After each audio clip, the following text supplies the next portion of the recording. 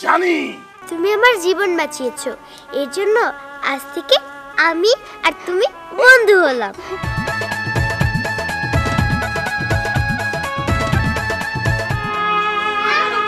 ওই হারামজাদি,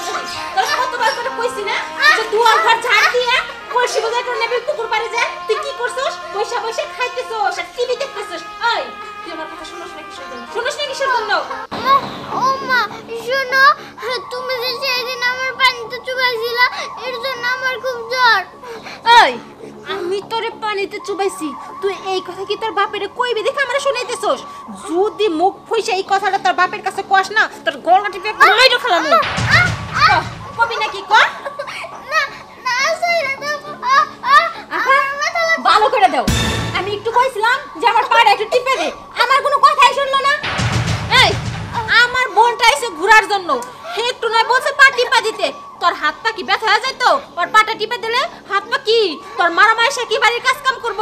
তুই কাজ কাম করছ না কিসের জন্য? ও বুঝতে পারছি। তোর মরা মায়ের জন্যই তো রাখছস।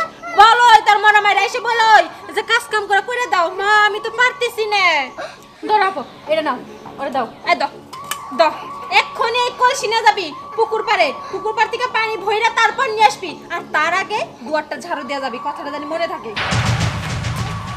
কিরে বলছিলাম না আমার পাউটি পাড়িতে দিলি না তো। এখন যা সারাদিন কাজ কর যা। কি হলো দাঁড়িয়েছিস কে? যা বলতেছি? আমার কথা শুনে না এখন বুঝবি মজা হ্যাঁ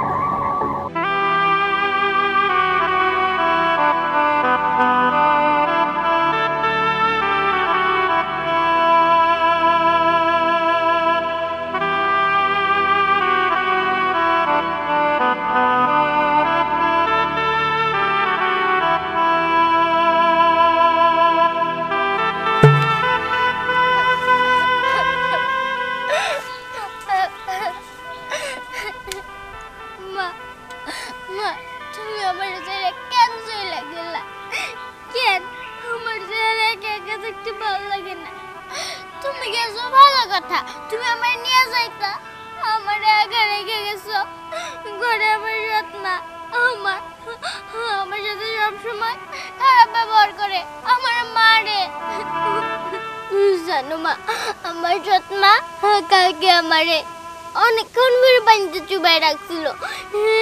আমার আমার নিঃশ্বাস বন্ধ হয়ে যাইতেছিল, কিন্তু আমি বাইসে গেছি।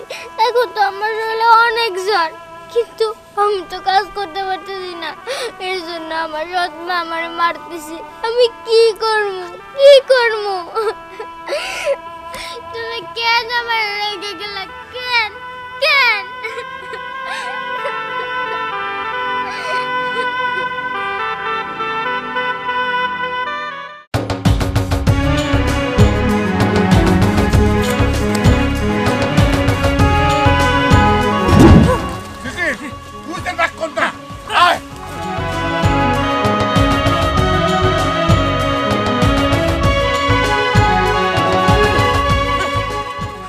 সিসি নাক কন্যা যে জায়গায় থাকুক ওরে আজকে ধরতেই হব। আয় আমার সাথে।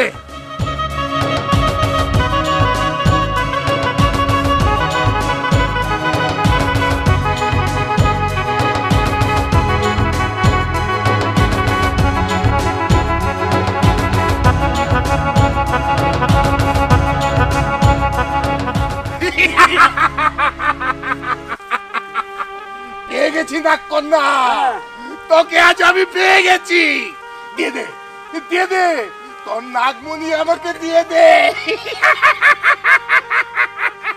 না আমি কিছুতেই তোকে নাকমণি দিব না। তোর নাকমণি পাওয়ার সাহস কীভাবে হলো? তোকে আমি আমার এক বলে শেষ করে দেব। আমার নীল বিষাক্ত ছবলে তুই শেষ হয়ে যাবি। না! এই নাগমণি আমার চাই চাই। আমার পূর্বপুরুষরা এই নাগমণির পিছে অনেক সময় ব্যয় করেছে। কিন্তু তারা তোর মায়ের খোঁজ পায়নি। কিন্তু আমি তোকে পেয়ে গেছি। দিয়ে দে। তোর আমাকে দিয়ে দে। না এটা কখনোই সম্ভব না। আমার জীবন থাকতে আমি তোকে আমার নাকমণি কোনোদিনও দেব না না। জানি আমি জানি। তোর এই নাগমণি আমাকে কীভাবে হাসিল করতে হবে?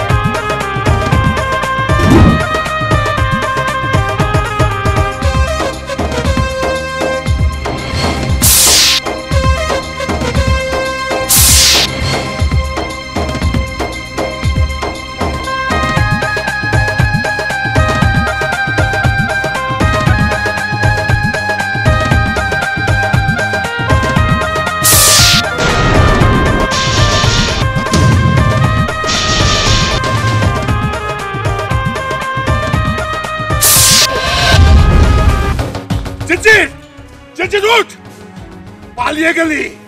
পালিয়ে গেলি তুই। আমার হাত থেকে তুই কখনোই বাঁচতে পারবি না। চিচি আই চিচি উঠ। নাগকন্যা পালিয়ে গেছে।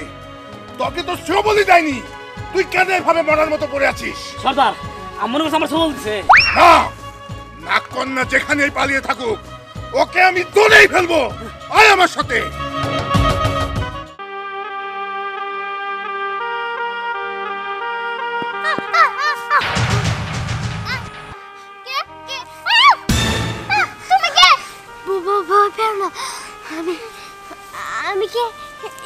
তোমাকে পরে বলব।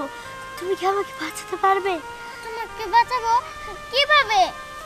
কিছুক্ষণের জন্য সাপের হাত থেকে আমাকে বাঁচাও। আচ্ছা। কিছুক্ষণের জন্য আমি নিঃশ্বাস বন্ধ করে রাখব।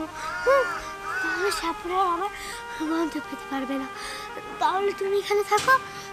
আমি যে লুকাচ্ছি ঠিক আছে? আচ্ছা।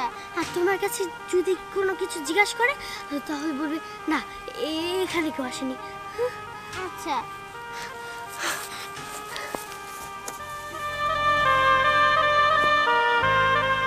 কি এটা কেরা? দেখে সাপের মতো মনে হলো।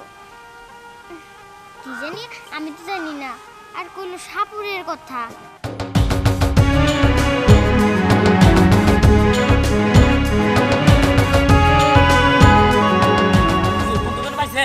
না নিশ্চয় নিশ্চয় নাগকন্যা পালিয়েছে। এই মেয়ে তুমি কি তুমি কি এখানে কোনো নাগকন্যাকে দেখেছ? নাক কোনা নাক কোনা আবার কি?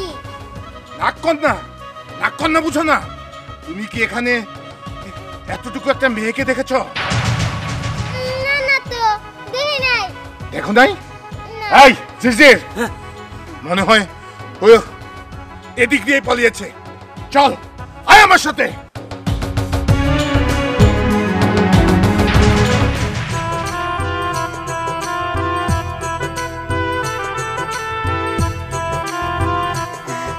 তুমি আমার অনেক বড় উপকার করলে।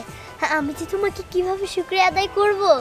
শুক্রিয়া আদায় আমাকে করতে হবে না, আল্লাহকে করো। তুমি তো অনেক ভালো মেয়ে। আচ্ছা আমি তোমার কীভাবে উপকার করতে পারি? তুমি আমাকে বলো তো। আমার উপকার করতে চাও? তবে তোমার হে বিষাক্ত বলে আমাকে মেরে ফেলো। মানে এগুলো তুমি কি বলছো? আমি আর এই জীবন নিয়ে বেঁচে থাকতে চাই না। কারণ আমার মা মারা গেছে। মারা যাওয়ার পরে আমার বাবা আরেকটা বিয়ে করছে। ঘরে আমার সৎ মা সবসময় আমার মারধর করে। আমারে কখনো আদর করে না। এই কথা বন্ধু? আচ্ছা ঠিক আছে। আর তাছাড়া তুমি আমার জীবন বাঁচিয়েছো। এর জন্য আজ থেকে আমি আর তুমি বন্ধু হলাম। আর কি বললে? তোমাকে কেউ আদর করে না। তোমার অনেক দুঃখ কষ্ট, তাই না? আচ্ছা ঠিক আছে। তোমার দুঃখ কষ্টের ভাগ আজকের থেকে আমি নিলাম। আর তুমি যখনই বিপদে পড়বে নাগিন বন্ধু বলে আমাকে স্মরণ করবে। আমি চলে আসব। কেমন? এবার এসো। একটু তোমাকে জড়িয়ে ধরি। এবার তুমি বাসায় যাও। ঠিক আছে বন্ধু? আচ্ছা। থেকে আমি তোমার বাসার আশেপাশেই থাকব। আর সর্বক্ষণ তোমাকে রক্ষা করব। এই নাগিন বন্ধু আমি তোমাকে কথা দিলাম।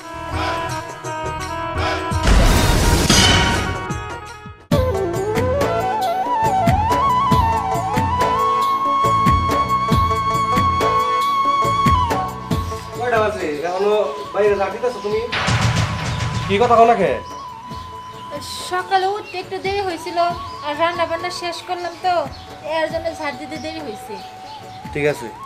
পরি পরি তো ঘরে নাই। ঘরে নাই মানে? এটা তুমি কেমন কথা কইতেছ? আমি পরিরে বারবার করে বললাম যে মা সকাল সকালে বাইরে যাস না। আমার কথা কি শুনে? আমার বলে তুমি কোনো কথা বলো না। আমার ঘুরতে মন চাইছে খেলতে মন চাইছে আমি এখনই বের হয়ে যাব। এই বলে চলে গেছে। তুমি কেউ শরীরে হাতে দেখছ? মেয়েটা শরীর জ্বরে পড়ে যেতেছে। আর তুমি কেউ খেলতে গেছে? আমার তো মনে হয় তোমার কোনো যত্নই নাও না। এইটা তুমি কেমন কথা কইতেছো? আমি পরির যত্ন নেই না। সোহাগরে যেমন করে আদর করি পরির তো একই রকম করে আদর করি। তুমি অযথায় ভুল বুঝতেছো। ভুল না আমি সত্যি কথাই কইতেছি। আসলে তুমি মেয়েটা তৈরি করো না। দেখো তুমি অযথাই ভুল বুঝতেছো। হয়তো আমি ওর সৎ মা কিন্তু আমি ওর আমি নিজের মেয়ের মতো আদর করি। তুমি আমার ভুল বুঝো না ওর কখন কি লাগে সবই তো আমি দেই। দেয়া সবই ঠিক আছে। তুই এত জ্বর নে মেয়েটা বাইরে গেল কেমনি? পোলাপান মানুষ ওকে জ্বর ঠান্ডা আছে ওকে খেলতে মন চাইছে চলে গেছে। রান্না বান্না কিছু হয়েছে এই তো রান্না শেষের দিকে আর আধা ঘণ্টা লাগবো চুলাই আছে তরকারি। ঠিক আছে তুমি চুলাই রাখো। আর আমি পরে দেখি কোন জায়গায় আছে খুঁজা নিয়ে। মেয়েটা জ্বরে শরীর পুড়ে যেতেছে নিজের মেয়ের দোষ কখনোই ধরবো না। সবসময় শুধু আমার দোষ। আজকে ওই হামির বাচ্চা হোক, ওই হামির বাচ্চা লিগে এত কথা শুনতে এলো না। আজকে হোক ওর একদিন কামার একদিন।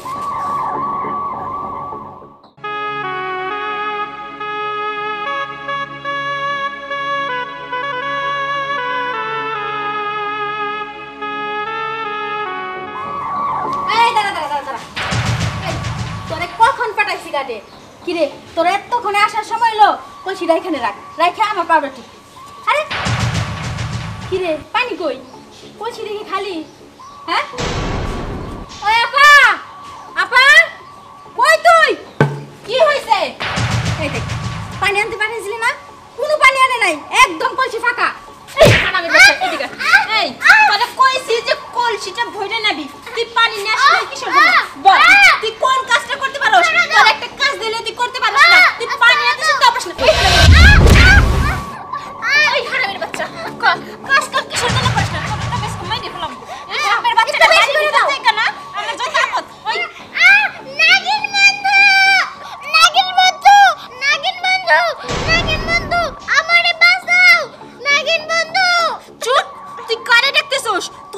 ভাবছস আশপাশের লোকজন ডাকলে আমি তোরে ছেড়ে দেবো।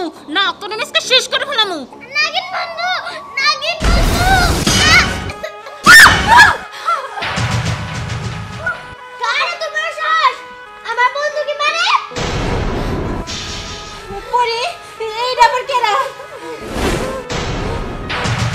না, না, তুমি তুমি তুমি আমাকে কামড় না। পরে তুই না কর। হোসেন আমাকে কামড় না দে। কামড় দিলে তো আমরা মরে তোরা কখনোই ভালো হবি না। তোদেরকে উচিত শিক্ষা দিয়া ভালো করতে হব। তোদের কীভাবে ভালো করতে হয় তা আমার জানা আছে। না না পরে তুই না কর। পরে না, এবার- বাবা এদিকে তুই সাপ এটা কে? এক নিমিষে ভয় পেয়ে গেলি? হুম, তোদেরকে লাভ তোর কলিজার টুকরা তো ছেলেরে আমি মারবো। ওরে তুই উচিত শিক্ষা পাবি। আমি তোমার কাছে মাপ চাইতেছি। তুমি আমার ছেলেরা মারো না। আমি আমি বুঝতে পারছি একটা ছেলে হারানোর যন্ত্রণা কতটা কষ্ট হইতে পারে। আমি আমি তোমার কথা দিতেছি। আজকের পর থেকে আমি সাথে আর খারাপ আচরণ করব না। ওরা আমার মেয়ের মতোই দেখব। ছেলেরে মাইরো না মাইরো না। ঠিক আছে, তুই যে তোর ভুল বুঝতে পেরেছিস, তাই অনেক। আর বন্ধু, এখন থেকে তোমার আর কষ্ট করে কাজ করতে হবে না। তোমার মা তো তার ভুল বুঝতেই পেরেছে। এখন তোমাকে তোমার মা অনেক ভালোবাসবে। আর আমি তো তোমার সাথে আছি। তোমার যখনই বিপদে পড়বে তখনই আমাকে ডাকবে। হুম? আচ্ছা। বাপরি আজকে থেকে আমার একটা সন্তান না আমার সন্তান দুইটা। এখন তো আমার সময় শেষ হয়ে যাচ্ছে। তাহলে আমি আসি। বিদায় বিদায়।